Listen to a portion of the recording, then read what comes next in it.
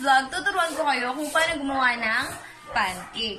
Ang simula na ng-pandemic, kasi di ba hindi tayo pwede lumabas, so kailangan nasa bahay lang tayo. Isa yung paggawa ng pancake sa naging libangan ko. Nag- Nagluluto ako nito pag merienda, minsan pag almusal. Kaya naman, isi-share ko sa inyo kung paano gumawa nito. Huwag na natin pang patagalin, magsimula na tayo.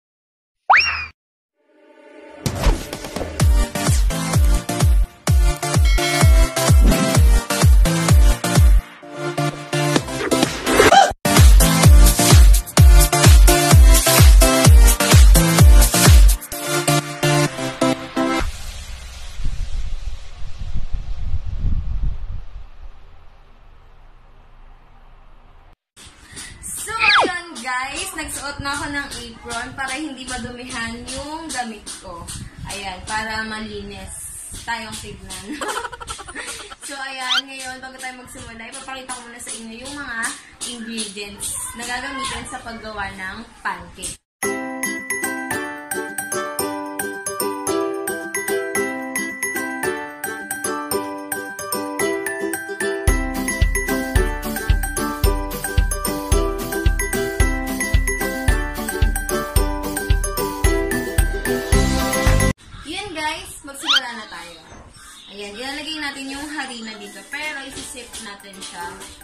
Ayan, ang um, gagamitin pala natin ay 1 cup na harina. So, ilagay natin siya sa sifter para mas maging um, smooth siya.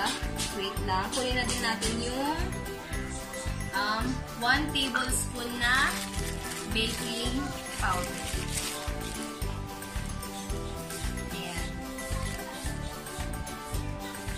1 tablespoon. Higintay natin. Ayan, sip natin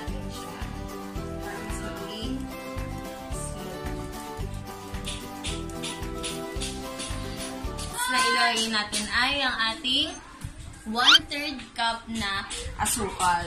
Um, wala talaga akong 1-third cup na ganito. Ayan.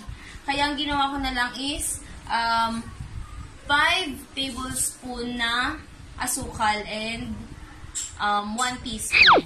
Ayan, ayan. Lagay natin siya dito. Sama na natin siya. So, ayan. Haluin natin. Nahalo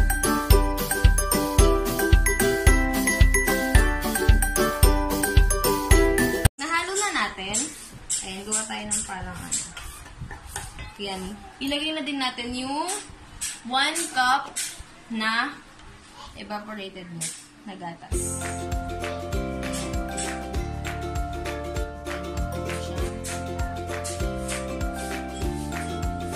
Ayan, lagyan natin siya dito. Ayan, lagyan natin natin yung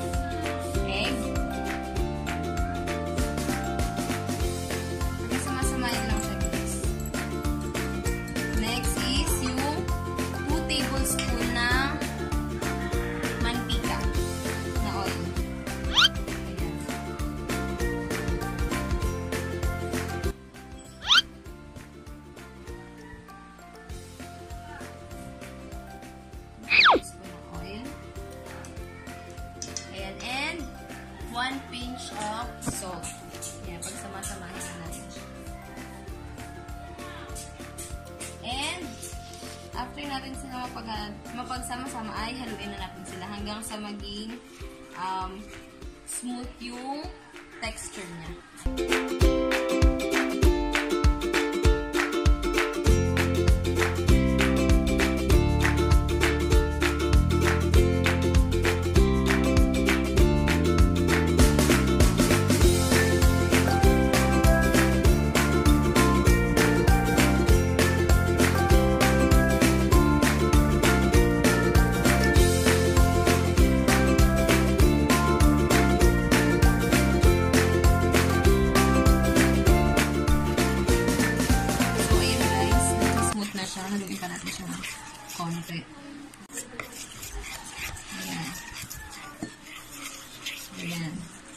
So, ayan okay na siya. I-set aside muna natin siya.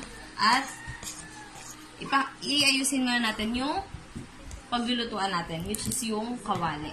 So, ayan guys, ito yung kawali na pagdilutuan natin. Ayan, nabuksan ko na siya. May apoy na. Inaantay na lang natin siyang uminit. Yun nga pala, um, pag ano, mag-ano tayo ng apoy, huwag dapat sa malakas.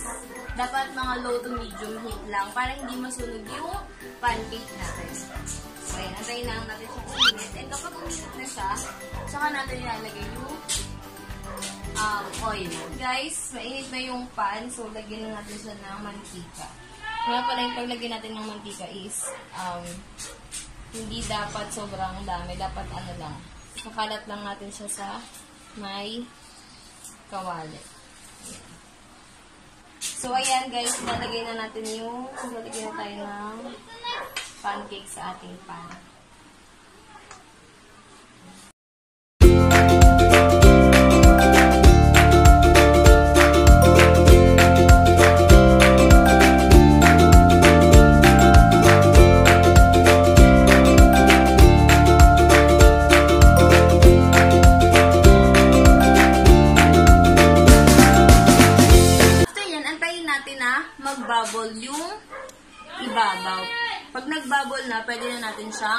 Siyang baliktarin. So, ayan guys, kung makikita nyo, nag-bubble na siya, kaya pwede na natin siyang baliktarin. Ayan, di ba? Ang ganda. Ayan, hanggang anta- antayin na lang natin na maluto yung pancake. Nakaluto na tayo ng isa at magluto po ulit tayo ng isa pa.